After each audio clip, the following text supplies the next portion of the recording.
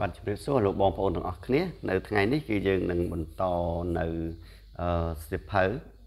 ដែលមានចំណងជើងថាសង្ខេប Politics Christian ដែលសរសេរដោយបណ្ឌិត Louis Beckhoff គឺយើងនឹងរៀននៅមេរៀនទី9ដែលមានចំណងជើងថាការបង្កើតបាទនៅក្នុងមេរៀនមុនគឺយើងបានរៀនអំពីបរិយាបញ្ញត្តិរបស់ព្រះ ហើយយើងដឹងនៅក្នុងបរិយាបញ្ញត្តិរបស់ព្រះ គឺព្រះអង្គបានខ្ញុំនិយាយមួយភាសាមួយហៅថាគិតគូរ ព្រះអង្គបានគិតគូរព្រះអង្គបានកំណត់ព្រះអង្គបានដៅចំណាំហើយនៅក្នុងប្រហាតីផងព្រះអង្គដែលរៀបចំលំអិតសពបែបយ៉ាងរួចរបស់ទាំងអស់នឹងគឺព្រះអង្គបានបង្កើតវាបានឲ្យឃើញច្បាស់ឲ្យដឹងពីអឺបញ្ញត្តិផងព្រះអង្គពីប្រហាតីផងព្រះអង្គការអនុញ្ញាតឬក៏មិនអនុញ្ញាតគឺដោយការបង្កើតតាមរយៈការបង្កើតហើយដូច្នេះនៅថ្ងៃនេះគឺយើងនឹងរៀនអំពីការបង្កើត តាមរយៈសិភៅរបស់បណ្ឌិត Louis Beckhoff លោកបណ្ឌិត Louis Beckhoff បានចែកមេរៀនរបស់លោក ជាពីរទី1គឺការបង្កើតរូបធាតុគឺអ្វីៗដែលយើងអាចមើលឃើញហើយនឹងមួយទៀតគឺបង្កើតជីវិតខាងឯវិញ្ញាណគឺអរូបគឺអត់មានរូបដូចជាពួកទេវតា គឺប្រភពខាងឯវិញ្ញាណទី1គឺការបង្កើតជាលក្ខណៈទូទៅ នៅពេលដែលយើងនិយាយអំពីការបង្កើត គឺមានន័យថាអឺ ព្រះបានបង្កើតរបស់សពសារពើគឺព្រះអង្គអត់បានយកអ្វីមួយមកកែច្នៃទេគឺព្រះអង្គចាប់ផ្ដើមបង្កើតដោយអង្គទ្រង់គឺព្រះអង្គគ្រាន់តែមានបន្ទូលនោះរបស់ទាំងអស់នោះបានកើតយើងឃើញនៅក្នុងព្រះគម្ពីរបានបង្រៀនលំអិតអំពីការបង្កើតពីពីពីពេលហើយពីរបៀបដែលព្រះអង្គបានកើតគឺនៅក្នុងព្រះគម្ពីរលោកុបាទជំពូក1និងជំពូក2គឺនិយាយអំពីការបង្កើតដែលព្រះអង្គបានមានបន្ទូលហើយព្រះអង្គបានអឺ រៀបចំឲ្យរបស់សពសារពើបានកើតមានចាប់ពីពេលមួយរហូតដល់ពេលចុងក្រោយគឺដែលព្រះអង្គបានបង្កើតដែលយើងនិយាយយើងរាប់តាមព្រះគម្ពីរប្រាប់ថាថ្ងៃទី1ថ្ងៃទី2រហូតដល់ថ្ងៃទី6ហើយថ្ងៃទី7ធ្វើអ្វីផងដែរនៅពេលយើងនិយាយអំពីពេលវេលានៃការបង្កើតវិញដោយសារតែអឺអ្នកវិទ្យាសាស្ត្រនិយាយអំពីការបង្កើតទី1 ចំពោះអ្នកវិទ្យាសាស្ត្រតែម្ដងគឺមិនជឿថាភពផែនដីនេះគឺបានកើតដោយព្រះនោះទេនៅពេលដែលខ្ញុំនិយាយអំពីអ្នកវិទ្យាសាស្ត្រគឺមិនមែនមានន័យថាគ្រប់ទាំងអ្នកវិទ្យាសាស្ត្រនោះទេពីព្រោះមានអ្នកវិទ្យាសាស្ត្រពីរក្រុមដែលសិក្សាដែលស្វែងយល់អំពីការបង្កើតក្រុមទី1គឺហៅថាក្រុមគ្រីស្ទៀនអ្នកដែលជឿថាមានព្រះ ហើយគេសិក្សាការបង្កើតគេសិក្សា អឺពិភពលោកគេសិក្សាអ្វីៗទាំងអស់គឺសម្រាប់សេរីល្អព្រះ គឺគេធ្វើដោយលើកដំកើងដល់ព្រះនៅការដែលគេស្រាវជ្រាវឬក៏មិនថាជារបបកំហើយដែលគេរកឃើញទេគឺគេធ្វើសម្រាប់សេរីល្អព្រះក៏ប៉ុន្តែអ្នកវិទ្យាសាស្ត្រមួយទៀតគឺធ្វើសពបែបយ៉ាងស្រាវជ្រាវគេចំណាយពេលវេលាចំណាយប្រាក់ចំណាយធនធានចំណាយកំណត់និងអ្វីៗទាំងអស់គេធ្វើសពបែបយ៉ាង គ្រប់វិធីគ្រប់មធ្យោបាយគឺ ដោយសង្ខេបសរុបសេចក្តីមកបានប្រាប់ថាភពផែនដីនេះរួមទាំងមនុស្សដែរគឺមិនមែនកើតមកពីព្រះនោះទេ គឺកើតមកពីអ្វីមួយផ្សេងអ្នកខ្លះគេថាការវិវត្តមកពីសត្វឬក៏វិវត្តពីស្អីមួយអញ្ចឹងទៅឬក៏ពេលខ្លះទៀតគាត់ព្យាយាមមិននិយាយអំពីថាការវិវត្តហ្នឹងទេគឺគាត់ចេះតែនិយាយថាហ្នឹងជារឿងធម្មជាតិកើតមកពីធម្មជាតិគឺខ្ញុំកើតពីឪពុកពីម្ដាយខ្ញុំមកគឺទៅជារឿងដែលអត់មានការពិតនៅក្នុងនោះ ហើយបង្កើតការដែលមិនពិតនឹងឯងនិយាយហើយដូច្នេះហើយនៅយើងមើលនៅការពិតនៅក្នុងព្រះគម្ពីរវិញនៅពេលដែលព្រះគម្ពីរបៀបបាននិយាយបានប្រាប់យើងយ៉ាងច្បាស់ថាផែនដីផ្ទៃមេឃនិងរបស់សពសារពើនៅលើផែនដីនេះរួមទាំងជីវិតរបស់យើងម្នាក់ម្នាក់ផងដែរគឺជាស្នាព្រះរបស់ព្រះ ដែលទ្រង់បានបង្កើតមកដូច្នេះសួរថាតើព្រះបង្កើតមក ភពផែនដីទី1ព្រះអង្គបង្កើតផែនដីនៅពេលណា គឺនៅក្នុងព្រះគម្ពីរផ្ទាល់គាត់បានដាក់ថានៅឆ្នាំនេះឬក៏ពេលនេះដែរដែលព្រះបានបង្កើតផែនដីក៏ប៉ុន្តែយើងដឹងថានៅក្នុងព្រះគម្ពីរលោកប្របាទចម្ពុក1ខ1គឺជាព្រះគម្ពីរដំបូងបានប្រាប់ថាការដើមដំបូងគឺព្រះបានបង្កើតផ្ទៃមេឃនិងផែនដី គឺពេលវេលានេះគឺពេលវេលានេះគឺព្រះអង្គអត់បាន មានបន្ទូលថា ការដើមដំបូងឡើយគឺម្សិលមិញឬមួយក៏10ឆ្នាំមុន20ឆ្នាំមុន50ឆ្នាំមុន1លានឆ្នាំមុនអត់មានបន្ទូលបញ្ជាក់បែបដូច្នោះទេ តែព្រះអង្គប្រាប់ថាការដើមដំបូងឡើយគឺមានន័យថានៅក្នុងពេលវេលារបស់ព្រះមិនមែនជាពេលវេលារបស់យើង គឺជាពេលវេលារបស់ព្រះយើងអាចនិយាយថាជាពេលដែលអស់កាលគឺអត់បានកំណត់ដោយពន្លឺថ្ងៃ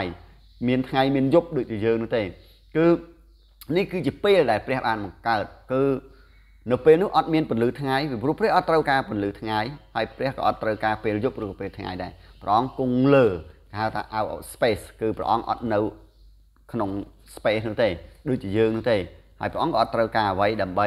ពឹងផ្អែកដែរហើយដូច្នេះហើយនៅពេលដែលព្រះគម្ពីរបានមានបន្ទូលថាកាលដើមដំបូងឡើយព្រះបានបង្កើតផ្ទៃមេឃនិងផែនដីគឺមានន័យថាជាពេលបំផុតកលជាពេលរបស់ព្រះ គឺនៅក្នុងពេលរបស់ព្រះយើងនិយាយចេះរៀងស្រួលយល់ជាងពាក្យថាអស់កលគឺនៅក្នុងពេលរបស់ព្រះមិនមែនជាពេលរបស់យើង ពេលរបស់យើង កំណត់ដោយម៉ោងកំណត់ដោយថ្ងៃគឺម្សិលមិញថ្ងៃនេះថ្ងៃស្អែកតែសម្រាប់ពេលរបស់ព្រះគឺអត់មានកំណត់បែបដូច្នោះឡើយដូច្នេះយោងតាមបទកម្ពីបានប្រាប់ថាកាលដើមដំបូងគឺព្រះបានបង្កើតផ្ទៃមេឃនិងផែនដីសួរពេលណា គឺនៅក្នុងពេលរបស់ព្រះមិនមែនជាពេលរបស់យើងនោះទេ ហើយយើងដឹងពេលរបស់យើងគឺក្រោយពេលដែលព្រះអង្គបានបង្កើតរួចព្រះអង្គបានមានបន្ទូលថាក៏មានល្ងាចមានព្រឹកគឺកំណត់ដោយថ្ងៃហើយនឹងយប់នោះគឺជាពេលរបស់យើងយើងមើលពីគោលបំណងហេតុអីបានជាព្រះបានបង្កើតរបស់សពសារពើហេតុអីបានជាព្រះបានបង្កើតផ្ទៃមេឃនិងផែនដីគឺខ្ញុំអាននៅក្នុងសៀវភៅដែលលោកបានសរសេរបណ្ឌិត Louis Berkhoff បានសរសេរ គាត់បានលើកឡើងថាអ្នកខ្លះគិតថាព្រះបង្កើតលោកីនិងមនុស្សមកដើម្បីឲ្យទ្រង់ទទួលបានអំណរបាទនិងសុភមង្គលពីការបង្កើតនោះនេះអ្នកខ្លះគឺយល់បែបឆ្នោះគិតថាព្រះអបសុកដូច្នេះហើយទើបព្រះអង្គបង្កើតរបស់សពសារពើសួរថាអញ្ចឹងមែនអត់ទេគឺយើងអានបន្តទៀតពួកគេយល់ថាព្រះមិនបានធ្វើឲ្យអង្គទ្រង់សបាយដោយឯកអង្គបានទេ គឺមានន័យថាគេគិតថា ព្រះអបសុខខ្លាំងព្រះអត់អាចសបាយបានទេទៅព្រះអង្គបង្កើតរបស់ទាំងអស់នោះមកក៏ប៉ុន្តែយើងមើលនៅក្នុងព្រះគម្ពីរវិញតើព្រះគម្ពីរបាននិយាយយ៉ាងម៉េចដូចមានអ្នកដែលយល់បែបឆ្នោអត់តែព្រះគម្ពីរប៊ីបចែងថា ព្រះមិនមែនសម្រាប់មនុស្សតែមនុស្សសម្រាប់ព្រះវិញដូច្នេះតព្រះមិនមែនសម្រាប់មនុស្សតែមនុស្សសម្រាប់ព្រះរបស់សពសារពើទាំងអស់គឺសម្រាប់ព្រះមិនមែនព្រះសម្រាប់របស់សពសារពើទេតើមានន័យដូចម្ដេចគឺមានន័យថា អឺព្រះជាអ្នកដែលបង្កើតរបស់ទាំងអស់នោះមក គឺព្រះអង្គមិនត្រូវការឲ្យរបស់ទាំងអស់នោះអឺធ្វើឲ្យព្រះអង្គសប្បាយទេ គឺព្រះអង្គនៅក្នុងអង្គទ្រង់គឺពេញទៅដោយភាពបរិបូរគឺក្នុងទ្រង់គឺស្កប់ស្កល់ហើយ គឺបរិបូរអត់មានអ្វីនោះទេពីព្រោះនៅក្នុងព្រះគម្ពីរប្រាប់ថាព្រះអង្គគឺបរិសុទ្ធហើយគ្រប់លក្ខសេចក្តីបរិសុទ្ធហើយនឹងសេចក្តីគ្រប់លក្ខនៅក្នុងអង្គទ្រង់គឺមានន័យថាឥតខ្ចោះអត់មានអ្វីដែលនៅក្នុងព្រះខ្វះនោះទេដូច្នេះ បើយើងនិយាយអំពីការសបាយនៅក្នុងអង្គទ្រង់គឺគ្រប់លក្ខហើយសេចក្តីសបាយដែលដែលកើតចេញអំពីការដែលព្រះអង្គមកកើតគឺគ្រាន់តែជាអ្វីដែលចេញកើតចេញពីព្រះអង្គតែប៉ុណ្ណោះដូច្នេះគឺมันអាចឲ្យរបស់ដែលព្រះអង្គបានកើតហ្នឹងគឺឲ្យព្រះអង្គមានប្រហារតីអសបាយចេញពីអ្វីដែលព្រះអង្គបានកើតទេនោះទៀតទេ វាខុសពីអ្វីដែលព្រះអង្គបានឲ្យរបស់សពសារពើដែលព្រះអង្គកើតបង្ហាញអំពីសេរីល្អរបស់ទ្រង់គឺខុសគ្នាពីកន្លែងហ្នឹងការដែលធ្វើឲ្យព្រះសបាយហើយនឹងឲ្យរបស់ទាំងអស់នោះបង្ហាញឬក៏ផ្សាយចេញពីសេរីល្អផងព្រះអង្គគឺខុសគ្នាអញ្ចឹងអាកន្លែងហ្នឹងខ្ញុំចង់បញ្ជាក់បន្ថែមបន្តិចតែរបស់ដែលព្រះអង្គបានបង្កើតមកគឺមានគោលដៅចម្បងរបស់ព្រះដែលព្រះអង្គបង្កើតមកគឺព្រះអង្គមានគោលដៅរបស់ទ្រង់ គឺមិនព្រះអង្គមិនមែនបង្កើតឲ្យឲ្យរបស់ទាំងអស់ហ្នឹងធ្វើឲ្យព្រះអង្គអឺអនោះទេ របស់ទាំងអស់នោះគឺបានគឺមានមានចម្បង បាទព្រះបានបង្ហាញសេរីល្អបាទបានបង្ហាញសេរីល្អនៅក្នុងស្នាប្រហោះដែលទ្រង់បានបង្កើតមិនគ្រាន់តែឲ្យឃើញដោយគ្មានអ្វីសោះនោះទេ តែរកតាមរយៈរបស់ដែលបានព្រះអង្គកើតមកគឺរបស់ទាំងអស់ហ្នឹងគឺព្រះអង្គបង្កើតមកគឺសម្រាប់បង្ហាញសេរីល្អផងព្រះអង្គ គឺបង្ហាញ គឺមិនមែនបង្កើតដើម្បីទទួលសេរីល្អនោះទេ តែព្រះអង្គបង្កើតមកដើម្បីបង្ហាញសេរីល្អត្រង់ហើយហើយរបស់ដែលព្រះអង្គបានកើតមក គឺនាំការសរសើរនិងលើកតម្កើងដល់ទ្រង់វិញអញ្ចឹងខ្ញុំជឿថាអាចយល់បាន ហើយមានព្រះគម្ពីរយោងហើយនឹងសំណេរដែលលោកបានសរសេរទៅនេះបានបញ្ជាក់កាន់តែច្បាស់ផងដែរតើហេតុផលបាទយើងនិយាយអំពី អ្នកដែលលើកអំណះអំណាងលើកការហេតុលើកហេតុផលមកជាច្រើនដែលប្រាប់ថាព្រះឲ្យបានបង្កើតទី1គឺមួយគេគិតថារបស់ទាំងអស់គឺមានតាំងពីដើមមក គឺមានដោយខ្លួនឯងដែលខ្ញុំលើកឧទាហរណ៍គឺដូចជាខាងដើមมันប្រាប់ថារបស់ទាំងអស់គឺមានរួចទៅហើយគឺមិនមែនកើតដោយសារព្រះទេ គឺកើតដោយឯងឯងគឺវិវត្តចេញពីអ្វីមួយអ្នកខ្លះទៀតគឺគិតមកថាអឺ ចំណុចទី2គឺបានប្រាប់ហើយថាពិភពលោកគឺជាការគឺជាវត្តមានរបស់ព្រះគេគិតថា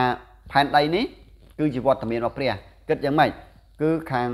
pantheism ឬក៏ polytheism គឺជឿថារបស់នៅលើផែនដីនេះឬក៏ផែនដីទាំងមូលនេះឬក៏អ្វីដែលដែលមនុស្សមើលឃើញនេះ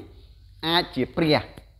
ឧទាហរណ៍ដើមឈើនៅពេលដែលឃើញដើមឈើស្កឹមស្កាយគួរឲ្យស្ញែងខ្លាចគោរពដើមឈើនោះជាជាព្រះទៅឃើញសត្វដែលគួរឲ្យស្ញែងខ្លាចបើដើរទៅក្នុងទឹកគិតថាអូសត្វនាគជាសត្វដែលគ្រប់គ្រងលើទឹកអញ្ចឹងគេនាំគ្នាថ្វាយបង្គំដល់សត្វនាគនៅពេលដែលគេដើរទៅក្នុងព្រៃគេឃើញសត្វដំរីធំគេហើយសត្វដំរីនឹងឯងជាហៅថាសត្វពេលខ្លះ ជាសត្វដែលអាចនឹងជួយយកអាសាដល់មនុស្សអាចចេះជួយអីចឹងទៅអីយ៉ាងស្ដាប់អង្គហ្នឹងទៅគេគិតថាអូដំរីនោះឯងគឺជាព្រះដូចជាយើងឃើញសាសនាផ្សេងគេថ្វាយគុំជាសត្វពេលខ្លះគេថ្វាយគុំសត្វអណ្ដើកថ្វាយគុំសត្វពស់ថ្វាយគុំសត្វគោថ្វាយគុំសត្វទាំងអស់ហ្នឹងដែលគេគិតថារបស់ដែលបានកើតមកទាំងអស់នោះគឺជាព្រះគឺវត្តមានរបស់ព្រះបានកើតនៅក្នុងរូបហ្នឹងពេលខ្លះទៀតគេថ្វាយបង្គំដល់មនុស្ស ដែលគិតថាមនុស្សហ្នឹងគឺជាអស្ចារ្យអាចយល់អាចប្រាប់ដឹងអាចយល់ពីអ្វីដែលមនុស្សដទៃទៀតយល់មិនដល់ដូច្នេះគេថ្វាយបង្គំទៅដល់អឺមនុស្សលើកមនុស្សឡើងឲ្យធ្វើជាព្រះហើយអ្នកខ្លះទៀតគឺគេជឿថាពិភពលោកនេះគឺកើតដោយការអឺវិវត្តបាទដែលខ្ញុំលើកឡើងដូចជាចំណុចទី1គឺវិវត្តពីពេលមួយមុនដំបូងគឺចេញពីចំណុចតូចមួយបន្ទាប់មកទៀតគឺវិវត្ត ទៅកាន់អវ័យមួយអវ័យមួយផ្សេងទៀតរួចក៏មានវិវត្តមួយផ្សេងទៀតគឺកើតចេញពីរបស់នេះរបស់នោះរួចកើតមកជាមនុស្សយើងតែម្ដងហើយនឹងអវ័យផ្សេងទៀតដូច្នេះ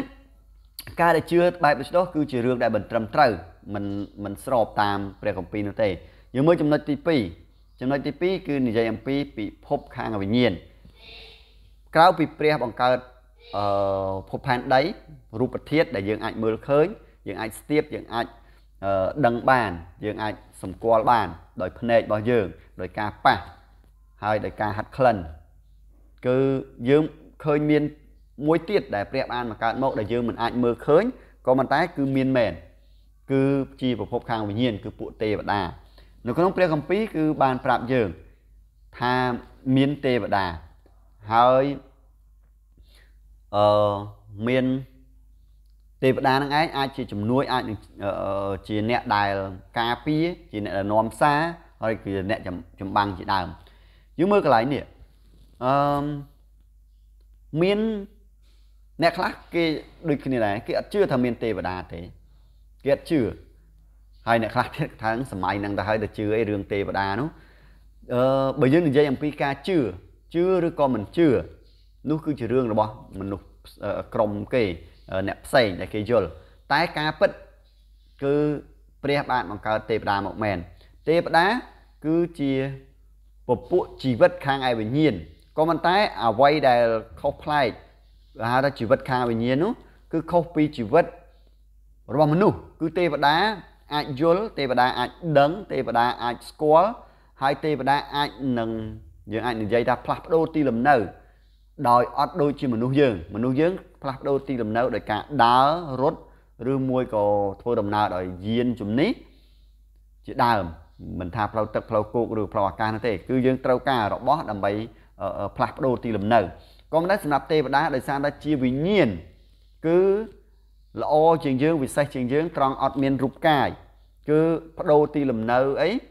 គឺខុសពីអំពីយើងក៏ប៉ុន្តែនៅក្នុងព្រះគម្ពីរអនប្រាប់ថាហោះណាគឺទេវតាបានហោះបានយាង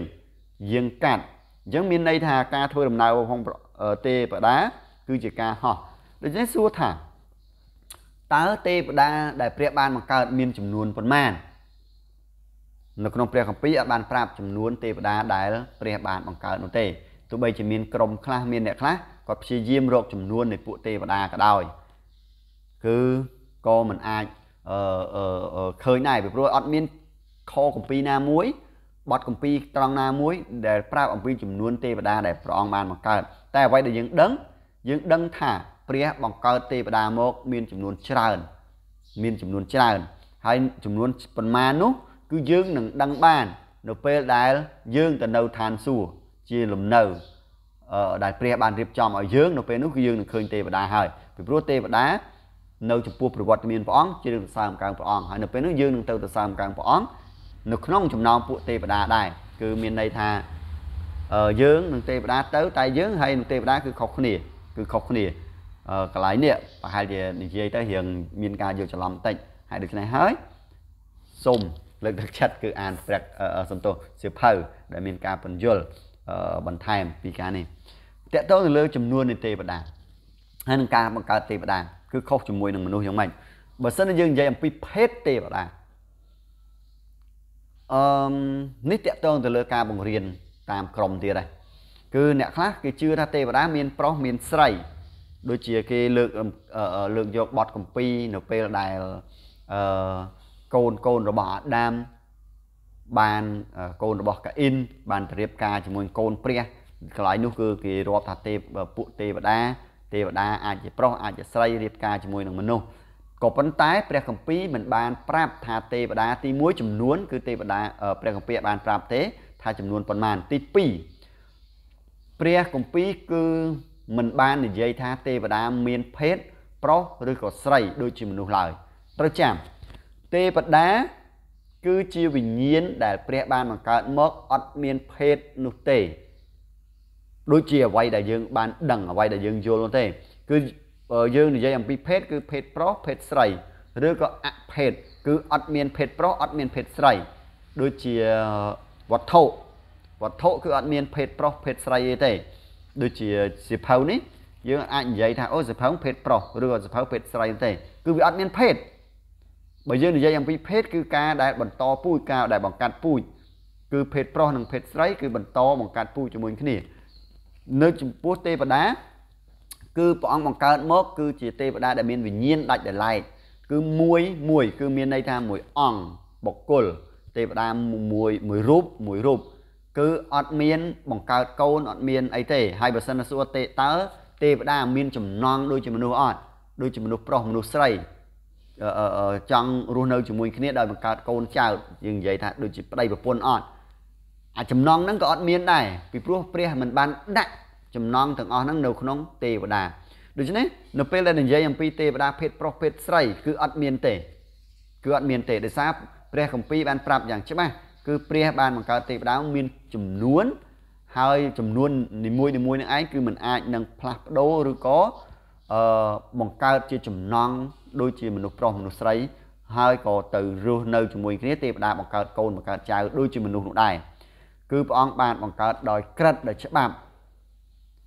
កន្លែងនេះគឺជាលក្ខណៈដែលដែលខុសគ្នាអំពីទេវតាដូច្នេះសួរថាតើទេវតាមាន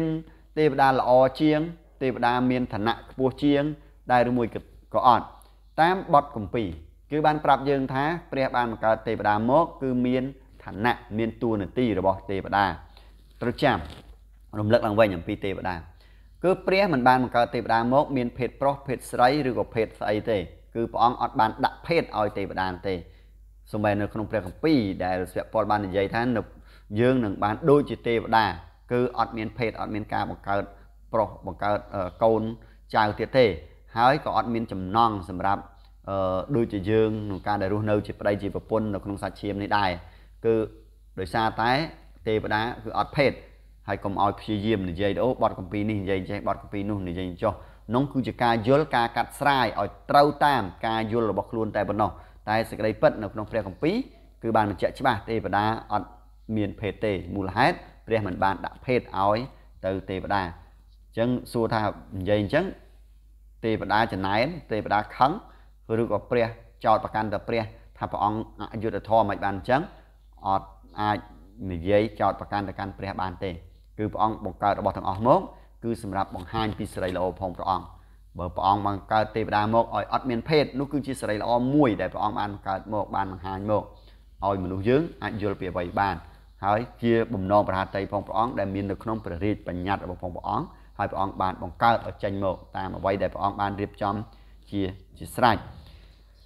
គឺទេវតាដែលព្រះអង្គបង្កើតមកគឺមានតួនាទីទេវតាខ្លះគឺជាទេវតាដែលនាំមុខចម្រៀង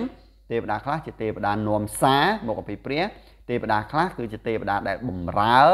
ដល់ព្រះបំរើដល់ពួកបរិសុទ្ធទេវតាខ្លះគឺជាទេវតាចម្បាំងបាទប្រហែលជាខ្ញុំនិយាយជន់គ្នាមើលទៅហើយយើងឃើញនៅក្នុងព្រះគម្ពីរ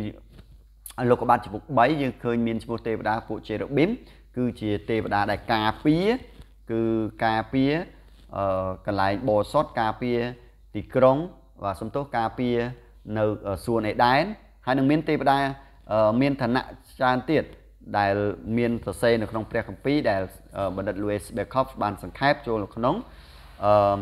សៀវភៅរបស់លោកនៅក្នុងចំណុចកបន្ទាប់គឺនិយាយអំពីកិច្ចការទេវតាតើទេវតាធ្វើអីខ្លះអឺបាទខ្ញុំរំលង គឺខ្ញុំនិយាយអំពីទេវតាអាក្រក់បាទយើងនិយាយអំពីទេវតាទេវតា នៅក្នុងការកំណត់ការគិតរបស់យើងដែលជាជនជាតិខ្មែរ គឺអ្នកខ្លះបាទដូចជាខ្ញុំឯងតូចតូចអីខ្ញុំនិយាយថាអូចង់កើតជាទេអ្នកខ្លះ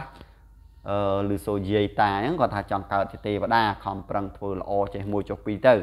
ក្រែងកើតទៅជាទេវតាអញ្ចឹងសួរថាតើកើតទេវតាកើតជាទេវតាអាក្រក់ឬកើតជាទេវតាល្អតែយ៉ាងណា គឺព្រះគម្ពីរអត់ដែលបាននិយាយអត់ដែលបានប្រាប់ថាអ្នក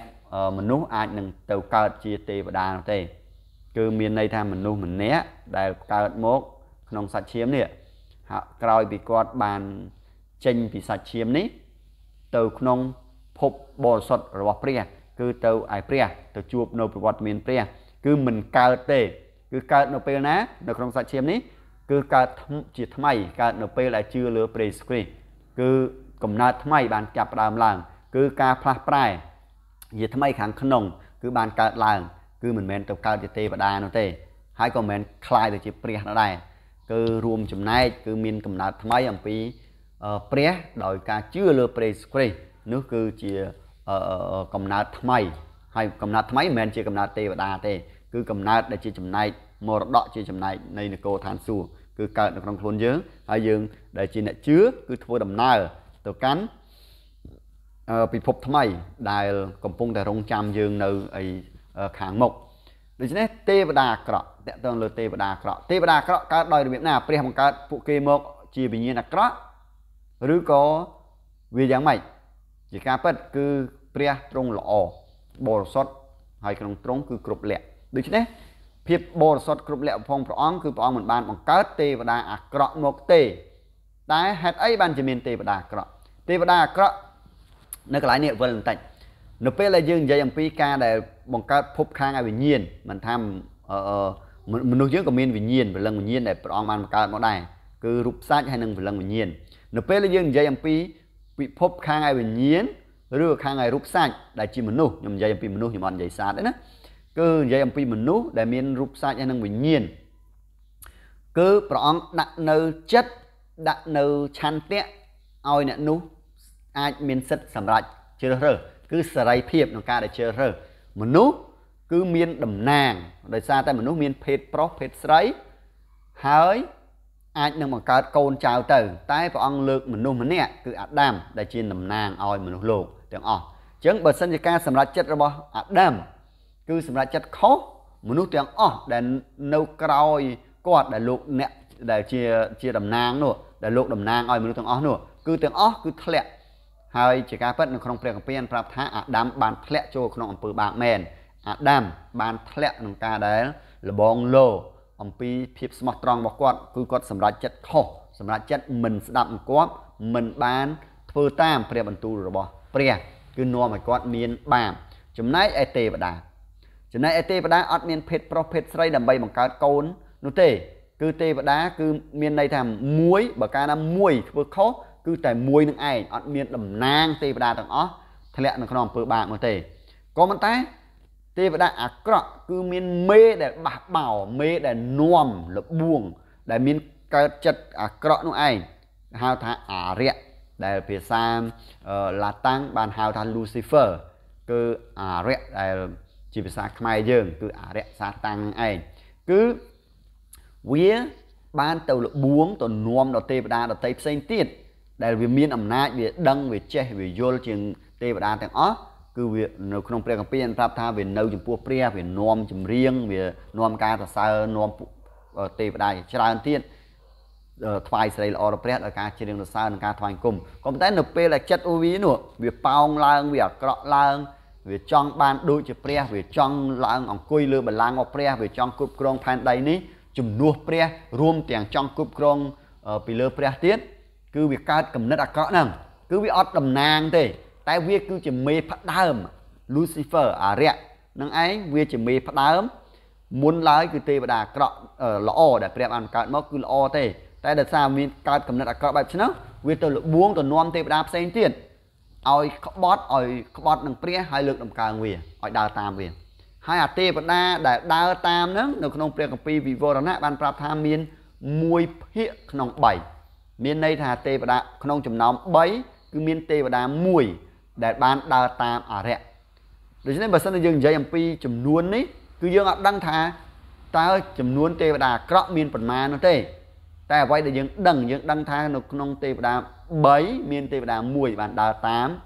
អរិយគឺជាចំនួនច្រើន ហើយដោយសារតែការបះបោរនឹងឯងគឺអាទេវតាទាំងអស់ហ្នឹងគឺដល់ពេលកំណត់មិនទាន់មកដល់ ពេលកំណត់អត់ទាន់មកដល់គឺព្រះអនុញ្ញាតឲ្យការអាក្រក់អាទេវតាដែលអាក្រក់ដែលនៅឋានសួគ៌នឹងឯងធ្លាក់មកនៅលើផែនដីហើយវាគ្រប់គ្រងនៅលើផែនដីនេះហើយដូច្នេះបានជាសាវកពលបានមានប្រសាសន៍នៅក្នុងព្រះគម្ពីរអេភេសូជំពូក2បានប្រាប់ថាទេវតាវាគឺជាវិញ្ញាណវាវាវាជាមេគ្រប់គ្រងលើអាកាសវាគ្រប់គ្រងលើអាកាសអាកាសហើយវាបណ្ដាលឲ្យមនុស្ស វាដឹកនាំវាលបួងនាំឲ្យមនុស្សនឹងឯងមានចិត្តរឹងចចេះមិនស្ដាប់បង្គាប់មិនកោតខ្លាចព្រះមិនថ្វាយបង្គំព្រះហើយរស់នៅទៅតាមចំណង់ចិត្តរបស់ខ្លួនគឺអាទេវតាដែលវាគ្រប់គ្រងលើអាកាសនឹងឯងវាគឺជាអរិយវាជាមេលបួងវាលបួងមនុស្សវាលបួងបញ្ឆោតរបស់ដែលនៅលើផែនដីនេះដើម្បីឲ្យបង្ខូចសេរីល្អព្រះធ្វើទៅតាមទំនើងចិត្តរបស់ខ្លួន ទំនើងចិត្តគឺជំរុញបណ្ដាលឲ្យគិតអ្វីតែអាក្រក់ ដោយសារវាទេវតាអាក្រក់ដូច្នេះវាបណ្ដាលវានាំឲ្យគិតតែអ្វីដែលអាក្រក់វាមិនបានឲ្យធ្វើឬក៏គិតអ្វីដែលល្អត្រឹមត្រូវនោះទេនេះគឺជាអ្វីដែលព្រះគម្ពីរបាននិយាយឲ្យលោកបងប្អូនអាចមើលនៅក្នុងព្រះគម្ពីរអេពីសូតចំពុក1គឺពីខ1ដល់ខ5គឺនិយាយថាអរិយបាទសវៈពលបានប្រាប់ពីដើមអ្នករាល់គ្នាក៏អញ្ចឹងដែរក៏ជាមនុស្សដែលរឹងចចេះជា